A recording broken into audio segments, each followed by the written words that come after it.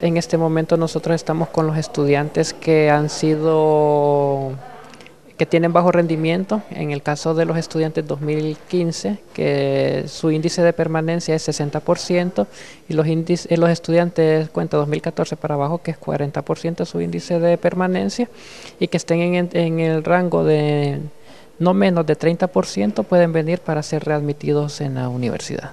El proceso comenzó el pasado 5 de mayo y termina el 19 de mayo.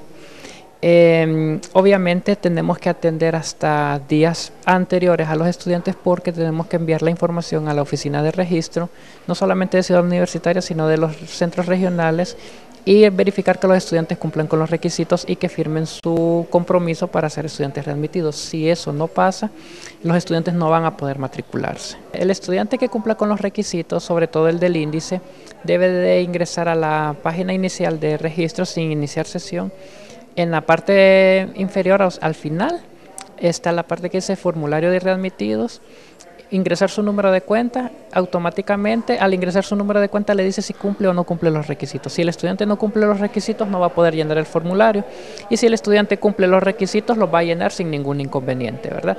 Ya habiendo llenado el formulario viene a las oficinas de la BOAE para firmar su compromiso y poderlo remitir a la oficina de registro para que puedan habilitarle su, su matrícula. A los estudiantes que no hayan cursado las, cuatro clases generales que son filosofía, historia, sociología y español, deben de llevarlas en línea.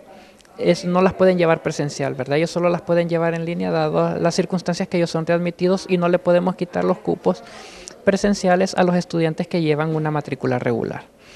Eh, bueno, obviamente los requisitos de índice, eh, tener en, el rango de 59% y 30% para los cuentas 2015 y el rango de 39 a 30% los cuentas 2014 para abajo. Ellos deben de cumplir con esos requisitos. No pueden llevar más de tres clases. Lo mínimo que pueden llevar son dos clases. Eh, eso es para evitar de que lleven mucha carga académica y no puedan elevar su índice.